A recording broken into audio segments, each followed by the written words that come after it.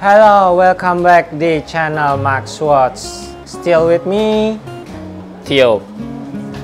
Kali ini gue masih membahas dari merek yang satu itu, dari brand yang satu itu, yang dari Jepang yang cukup best selling dan paling banyak penggemarnya dan paling banyak diburu. Gue akan bahas apa kali ini? Stay tune.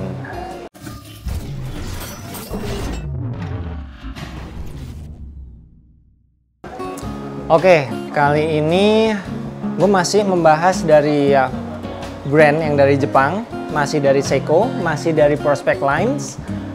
Kali ini gue akan bahas yang baru rilis juga di Basel World 2019 dan dia memiliki tema Save the Ocean. Well, kalau dipikir-pikir dari Save the Ocean, berarti Seiko kali ini udah ngeluarin yang third gen.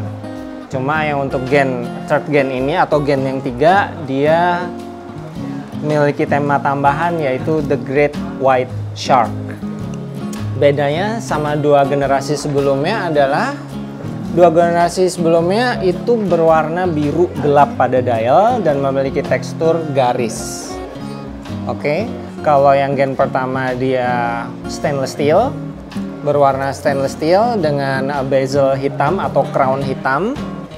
Yang gen 2 syarat dengan warna gunmetal atau mungkin hitam keabu-abuan ya. Nah, untuk yang third gen, The Great White Shark ini dia berbeda dari dua seri sebelumnya.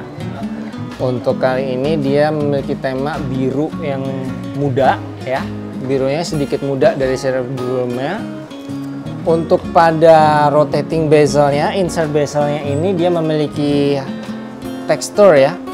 Tekstur garis lining gitu. Terus dialnya dia teksturnya adalah seperti ombak ya. Dan kenapa ditemakan The Great White Shark? Well, ini sebetulnya nggak kelihatan ya kalau kamu nggak merhatiin detail, tapi ya pada angka 8 kamu akan nemuin sirip hiu. Dan detail yang lain adalah pada hands, second hands atau jarum detik ini berbentuk sirip ikan hiu atau ekor ikan hiu. Well, nggak cuman itu.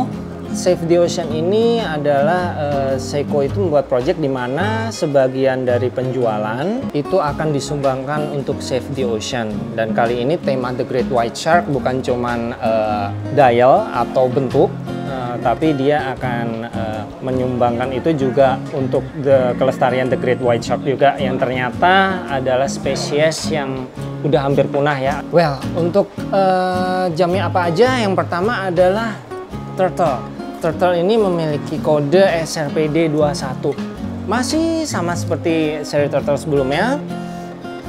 Untuk panda kaca dia masih menggunakan hard legs. Uh, dimensinya juga masih sama. Pada movement dia juga masih menggunakan automatic caliber 4R36 dengan day date. Untuk power reserve masih di 40 jam, pada jewels juga masih 24. Tapi ini walaupun turtle kita tahu mungkin udah banyak banget variannya ya, tapi mungkin cukup sulit untuk ditolak sih. Sulit banget buat ditolak karena ini keren banget sih.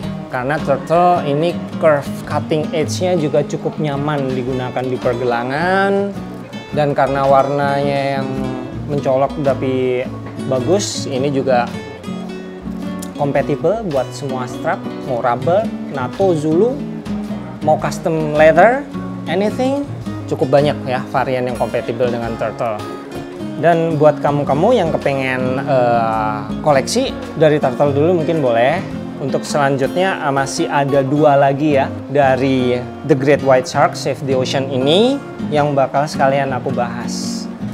Nah, untuk yang satu lagi, yang kedua ini kayaknya semenjak Turtle dan Samurai rilis di tahun 2017 kayaknya mereka itu udah kayak jadi partner ya nggak mungkin ada Samurai kalau nggak ada Turtle dan sebaliknya juga kayak gitu masih di The Great White Shark ini adalah Samurai. Nah Samurai ini juga nggak kalah banyak penggemarnya dengan seri Turtle.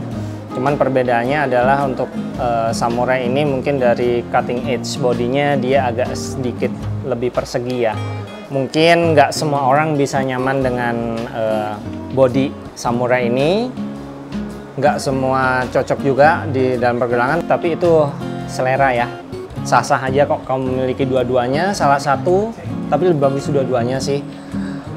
Masih dengan automatic movement kaliber 4R perbedaannya dari Turtle adalah pada day date ya. Kalau Turtle tadi pakai day date dia mungkin hanya pakai date aja which is dia menggunakan movement kaliber 4R 35 untuk jewels masih sama dengan Turtle menggunakan 24 jewels dan untuk power reserve juga masih sama di 40 jam. Sebetulnya nggak banyak sih yang bisa di uh, aku bahas. Mungkin kalian semua udah tahu ya samurai ini dia nggak terlalu beda jauh dengan Turtle. Well ini cukup menarik juga untuk dikoleksi.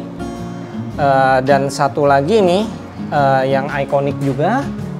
Nah ini ini sebetulnya di antara yang lain mungkin dia cukup, kurang cukup populer ya entah karena bentuknya entah karena movementnya tapi bilang aja ini jam keren banget serius.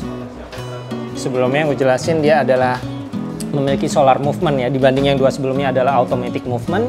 Kalau ini adalah solar chronograph movement ya. Dia punya kode SSC 741P1 nah, ini masih dengan tema uh, Save the Ocean. Mungkin dibanding dua sebelumnya birunya dia lebih deep which is lebih kelihatan beda banget. Tapi komposisi krononya ini lebih pas banget jamnya kelihatan bold tebel jadi kalau pakai di pergelangan tuh rasanya kayak stand out and bold banget gagah ya. Untuk durability nggak usah ditanya. Seiko Solar ini durability-nya tough banget. Easy to read walaupun ada krono yang kelihatannya bikin dialnya sibuk tapi dia tetap easy to read. Untuk diameter juga pas nggak terlalu besar nggak terlalu kecil buat kamu yang suka kepraktisan tinggal grab and go kamu nggak perlu cocok-cocokin lagi nggak perlu ngitung power reserve-nya berapa lama langsung pakai selama ada cahaya sinar LED cahaya matahari anything jam ini akan tetap running terus akan tetap berdetak terus So, kamu mau pilih Save the Ocean yang mana? Turtle, Samurai, atau Chrono Solar, atau tiga-tiganya? Your choice. Kalau gue bilang, koleksi semuanya. Oke, itu dulu yang bisa aku bahas kali ini. Bahasan yang lain, tunggu aja. Jangan lupa subscribe, likes channel kita. Dan tunggu pembahasan berikutnya. See ya!